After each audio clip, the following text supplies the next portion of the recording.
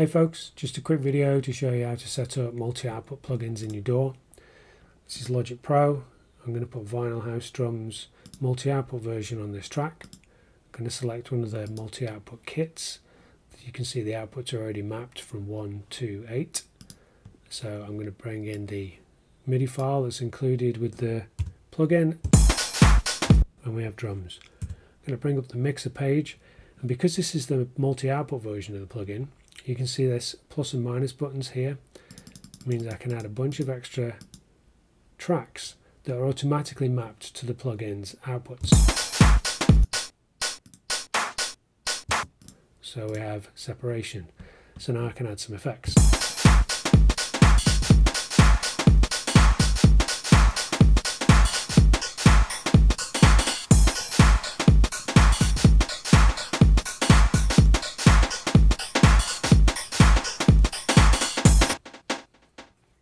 There we go.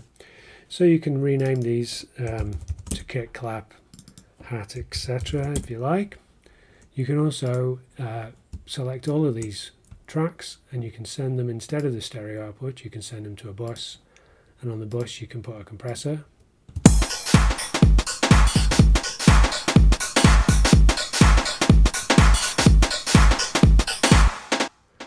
And then of course when you move through the other kits everything's already set up.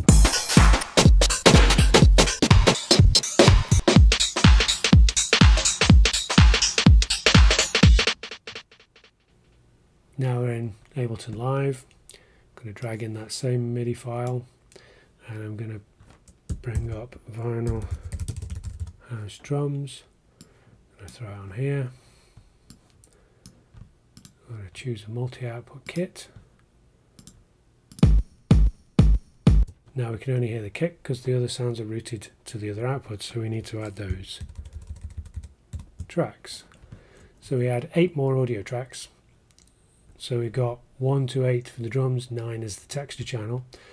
And we have to set up the input of all of these audio tracks to Vinyl House Drums plugin. And then we have to send set each one to outputs 2, 3, 4, 5, 6, 7, 8, and 9. And then we also have to set all the monitors to in so that they receive audio from here.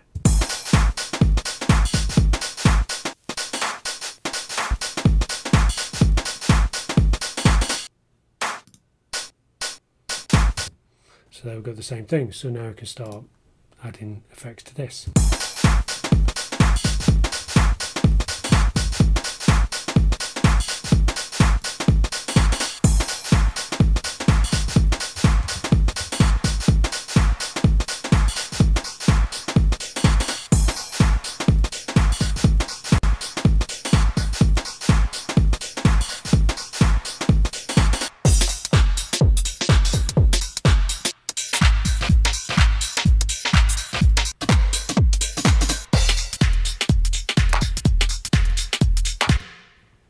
Here we are in Maschine.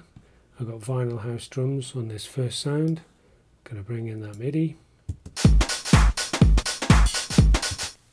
And then I'm going to choose a multi-output preset. See the outputs are mapped 1 to 8 there. And then in the other sounds in the group, we're going to set the input audio to the extra outputs of the first sound. So we just go doing four, five, six, seven, eight, and nine. Now we can start adding effects.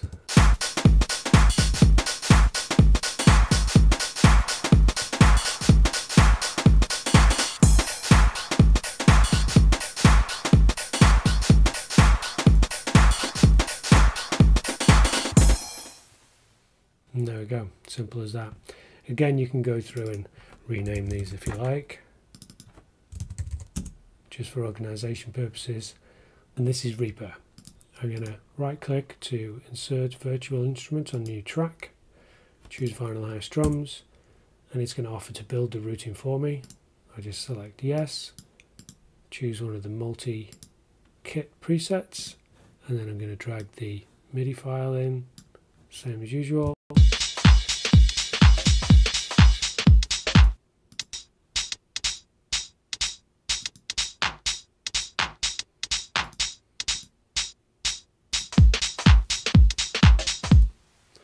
And there we go. And of course in Reaper you can add effects and grouping as well. So there you go. That's how you set up multi-output routing for a plugin in Logic Pro Ableton Live Maschine and Reaper